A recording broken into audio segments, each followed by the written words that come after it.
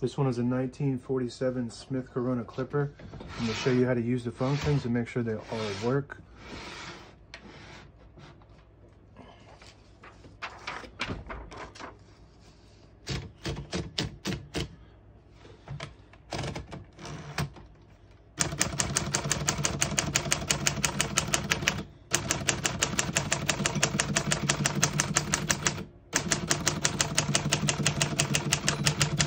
Once you hear the bell, you're at the end of the margin.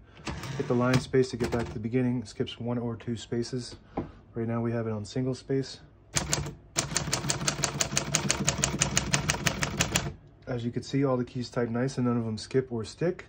Type a sentence real quick.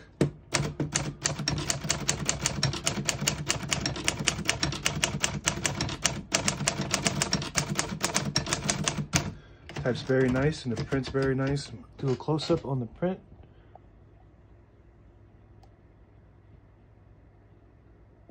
I'll show you how to use the rest of the functions. to pull the paper out easy, you just flip this switch forward and it pulls right out. Also allows you to load thicker paper like cardstock or carbon copy. Has a backspace on the top left here. A shift lock right below that. Once you get to the end of the margin, it will has a mechanism to stop typing. So if you hit the margin release right there, you can finish typing that word at the end of the margin. Open the hood. You got the spools, brand new uh, ribbon on this side. So it's pulling to that side.